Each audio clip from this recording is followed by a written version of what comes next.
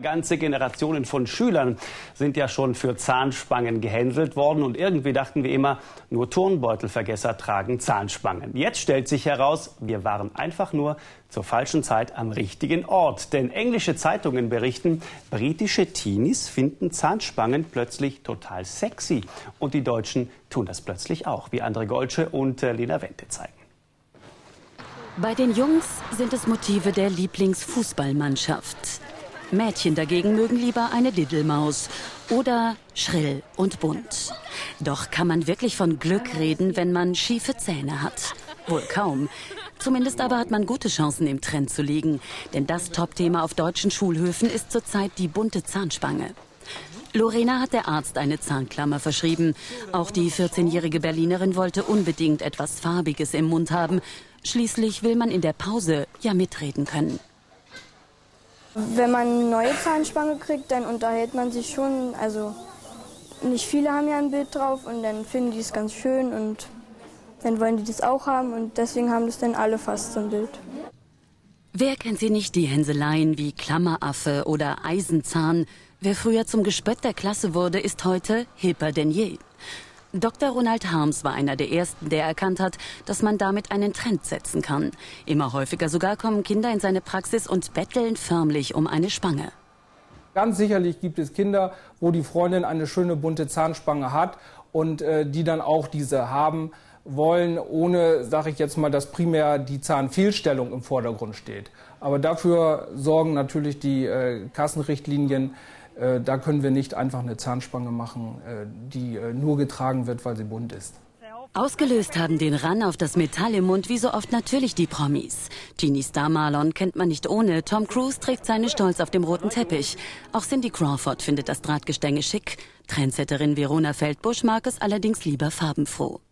Moderatorin Gülcan hätte so gerne eine kunterbunte Klammer gehabt. Nur leider hatte sie ein Problem, nämlich zu gute Zähne. Ja, weil alle die hatten, wollte ich natürlich auch eine, so wie das ist. Ne? Die hatten Pony, ich will auch einen Pony. Die hatten eine Zahnspange, ich will auch eine Zahnspange. Und dann war ich beim Kieferorthopäden, habe da auch ein Praktikum damals gemacht. Und dann meinte ich so, ja, können Sie nicht mal vielleicht mir auch eine Zahnspange verpassen? Da hat sie so geguckt, sie so, nee, dein Gebiss bekommt auf jeden Fall keine Zahnspange. Hat aber erstmal einen Abdruck gemacht und hat das dann da so hingestellt als äh, Vorbildgebiss. So sollte ein Gebiss sein, wenn alles gut gelaufen ist. Ich so, ja, danke, toll. Ich finde Zahnspangen süß. Ich finde, das kommt bei Menschen sehr süß.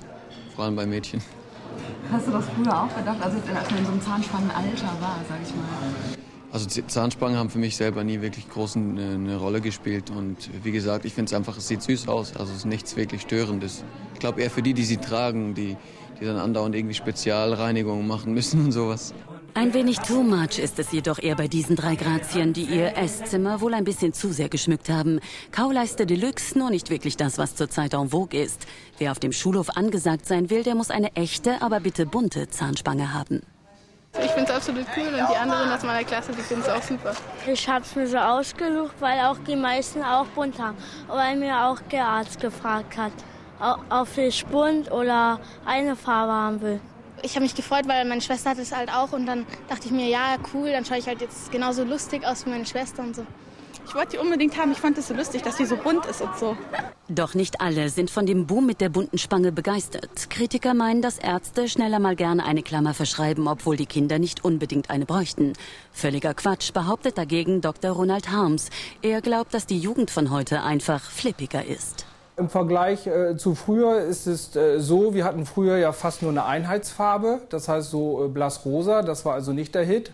Wir haben versucht, äh, diese äh, blassrosa Farbe hier lange weiter durchzuziehen, weil es ja ein riesen Mehraufwand ist, äh, praktisch ganz individuell die Spangen zu gestalten. Aber die Jugendlichen haben uns also ganz schnell gezeigt, wo der Weg hingeht. Jeder will seine individuelle Spange haben und die müssen bunt sein und ansonsten diese rote Farbe, die ist out von früher. Lorena hat ihre neue Spange endlich bekommen. Sie hat sich für ein Motiv mit der Diddelmaus entschieden.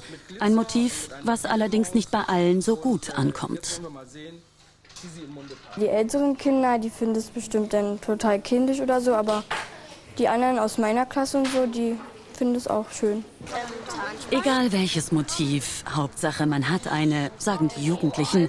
Doch Ärzte sagen ganz klar, wer keine schiefen Zähne hat, der muss auf diesen Trend leider verzichten. Übrigens, gute Zahnärzte berechnen für die Farben und bunten Motive in aller Regel nichts. Einige nehmen dagegen bis zu 15 Euro.